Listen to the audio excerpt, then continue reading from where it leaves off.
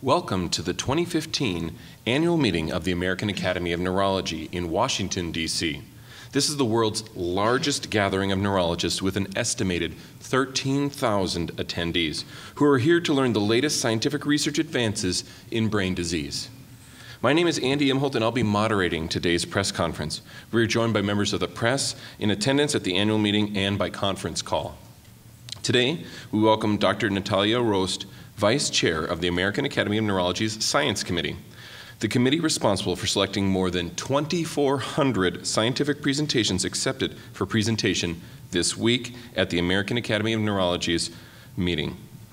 Dr. Rost is also Director of the Acute Stroke Services at Massachusetts General Hospital and Associate Professor of Neurology at Harvard Medical School.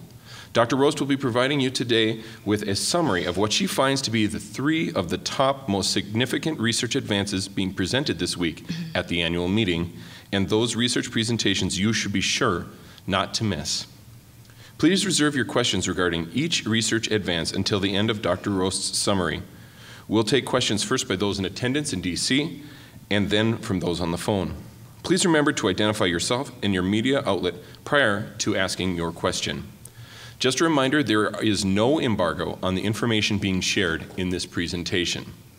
The first research Dr. Rost will be discussing is an emerging science abstract related to a new drug being studied for Alzheimer's disease. This research will pre be presented by Dr. Jeffrey Sevigny at the Emerging Science session at 6.15 p.m. on Wednesday, April 22nd at the AAN annual meeting in Washington, D.C.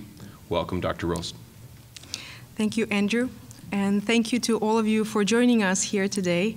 It's really a pleasure uh, for me, on behalf of the Science Committee of the American Academy of Neurology, to welcome you all and thank you for your interest uh, in ongoing scientific program. The study that I wanted to start this press conference with is a study of a new monoclonal human antibody, which is being developed in an attempt to modulate the course of the Alzheimer's disease. This study um, uh, investigates a compound that is called aducanumab. And this is a new compound that is a monoclonal antibody to the aggregated beta amyloid in patients with the early phases of Alzheimer's. This study in particular is a phase 1b trial, which is an early trial for those of you who have experience with clinical trial terminology. And the primary goal of the investigation is to study safety, tolerability, pharmacokinetics, and pharmacodynamics of this uh, compound.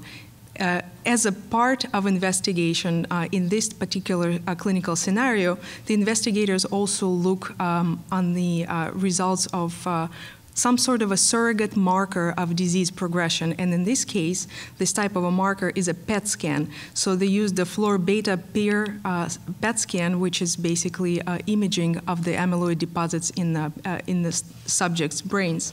They studied 166 individuals uh, roughly half of them have what we call a prodromal Alzheimer's disease, uh, meaning very early stage, and the other half had mild Alzheimer's disease. They looked at the results of the uh, Fluor, uh, florbetapir scan prior to initiating the randomized component of the investigation, and they specifically stopped the study at about 26 weeks uh, to look at the results. Um, of the initial testing. Uh, when they uh, investigated the results of the uh, of the results of the initial uh, database review, they realized that depending on the disease progression, as well as the uh, ApoE allele uh, genetic carrier status in this population, they had seen very um, specific response in the, in the subjects per each treatment arm. They've noticed that there was a higher degree of what they call the amyloid related imaging abnormalities, which was their primary um, uh, outcome uh, um, for safety and tolerability. And they've noticed that there were more of those abnormalities in patients who have had ApoE4 status positive, and also the ones that um, had a more severe disease. They also noticed that there was a significant decrease in, uh, uh, in the amyloid deposits based on the uh, beta, uh, uh, PET scan, uh, florbetapir PET scan, uh, again by uh, ApoE carrier as well as by severity of disease. So, in conclusion, they stated that uh, there was a, a, safety and tolerability findings that were dependent on the genetic uh, allele uh, carrier status and also dependent on the dose of, uh, of the medication that they have been infusing. But they also noticed that the this monoclonal antibody reduced beta amyloid plaque across these uh, particular uh, stages of disease as well as the genetic uh, carrier status. Thank you, Dr. Rost. The second scientific abstract Dr. Rost will be speaking about addresses migraine and migraine pain. This research will be presented at the Contemporary Clinical Issues plenary session by Dr. Uh, Todd J. Schwedt at 9 a.m. Eastern Time on Wednesday, April 22nd. Uh, thank you, Andy. Uh, this is a study that's titled Adults with Migraine Have Atypical Correlations Between the Brain Cortical Thickness and Pain Thresholds.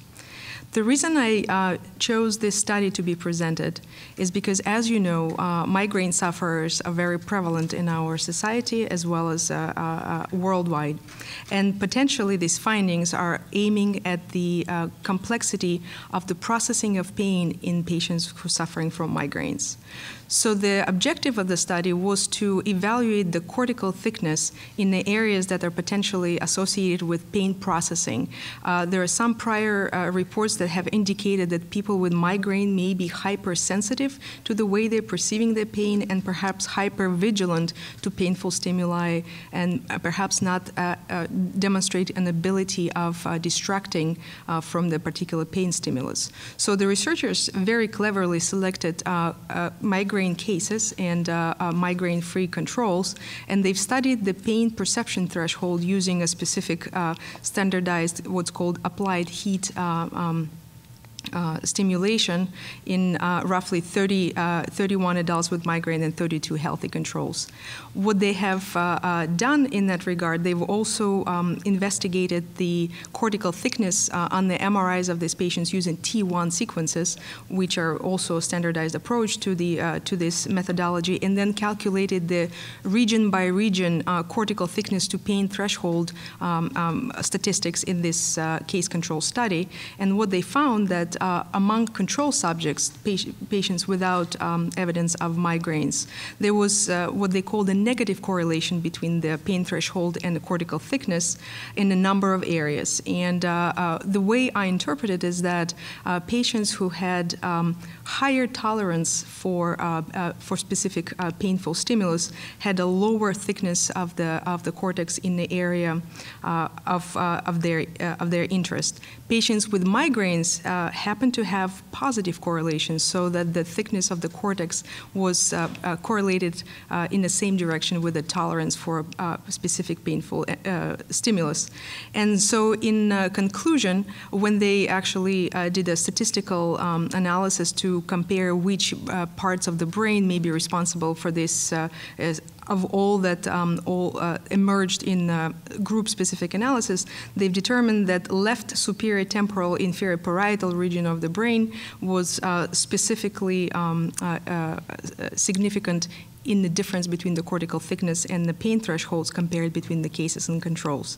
Interestingly enough, uh, this is uh, in fact a region of the brain that participates in uh, attention to painful stimulus and orientation to that uh, uh, to that stimulus. And uh, the conclusions that the authors had is that perhaps absence of normal correlation may represent the inability of people with migraine to inhibit pain sensation by shifting attention away from that pain. Our third research topic Dr. Rost will address is regarding a clinical trial for the treatment for stroke. This presentation is led by Dr. Dietrich Dippel and will, place, uh, will take place during the clinical trials plenary session on Friday, April 24th at noon. Thank you. Um, as a stroke neurologist, um, I uh, particularly picked this study not necessarily for the novelty of the breaking science that we have at the AN, because for some of you who are following the news, the study was first released during the World Stroke Organization um, um, uh, Congress in Turkey uh, in October of last year.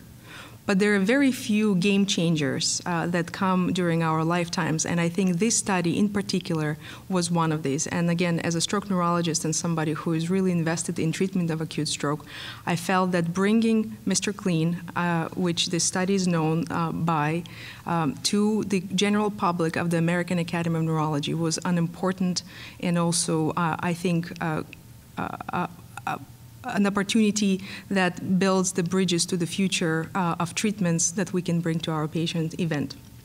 So in this study, in a very simple design, the uh, uh, neurologists from Netherlands were able to coordinate uh, a number of academic centers that participate in interventional care of the acute stroke.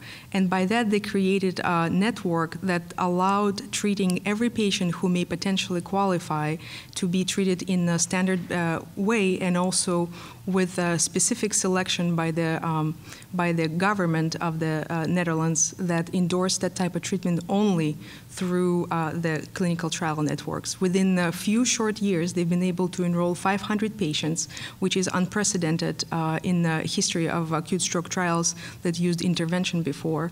And in, in that trial, they've compared a group that has been treated uh, using standard of care, which in many cases, as you know, for acute stroke patients would be intravenous thrombolysis, uh, compared to the group of patients who receive standard care plus intraarterial intervention. In many of, of these cases, in the majority, they underwent what's called mechanical thrombectomy, which is a procedure that is similar to catheterization that's often used for the, uh, uh, for the coronary, for example, care, except for this uh, type of uh, procedure, they actually thread the catheter all the way to the intracerebral vessel, right at the side where the thrombus is located, and they are able to deploy uh, whatever whatever um, uh, devices available to them at the time throughout the history of treatment of acute stroke we went from uh, trying to disrupt the clot by using mechanical wire to going through a pigtail type um, uh, retriever called MERCI retriever. And nowadays the generation of devices called stent retrievers which is a device that basically deploys a stent at the end of the uh, catheter tube and that stent initially smashes the clot against the vessel walls and then is able to retrieve it once the uh, pieces of clot are settled in the mesh of the stent. So in this particular trial, in a very simple and elegant design, they've been able to show that those patients who underwent mechanical thrombectomy in addition to the standard of care treatment had actually a uh, greater proportion of better uh, functional outcomes at 90 days. And the functional outcome in this study was defined as functional independence, which is modified Rankin score less than two, uh, at, at, which point patients are able to ambulate. Um, this uh, trial has set uh, a wave of events. Most of them were associated with a number of ongoing trials of intraarterial intervention at the time to break their databases and look at the interim results and evaluate their uh, results. And at this point, I think we have six additional trials that have shown um, benefit of mechanical thrombectomy added to the uh, standard of care. Most of the time, it's intravenous uh, thrombolysis to demonstrate that uh, outcomes in this particular population of the patients with acute stroke are beneficial. Thank you, Dr. Rost. Please note the study authors on the research articles can be reached through contacting Rachel Soroka and Michelle Ewer with the AAN Media Department. On behalf of the American Academy of Neurology, I'd like to thank Dr. Rost and the members of media for attending today. For more information about the American Academy of Neurology's 67th annual meeting, please go to AAN.com. That's AAN.com. For the American Academy of Neurology, I'm Andy Imholt.